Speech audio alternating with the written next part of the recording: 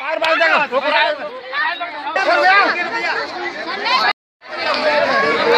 आने लगे हम वहाँ पे चोरी करें इसने पेन तमीज से सब काम के लिए सबसे नीचे कपड़े में मोबाइल पैसे आप कहाँ से आए रोयावास से क्या हुआ था हमारे कपड़ा के हमारे कपड़ा के नीचे बैग रखा था वो पेंट रखा था हाँ। ये पेंट निकाले गए मैंने अपना पे, पेंट एक रख दिया वहाँ में बैग में हाँ। और एक को ये नीचे से निकाल ले गया फिर आपने कैसे पकड़ लिया? हमने इसको चार घंटे हो गए ढूंढे ढूंढे।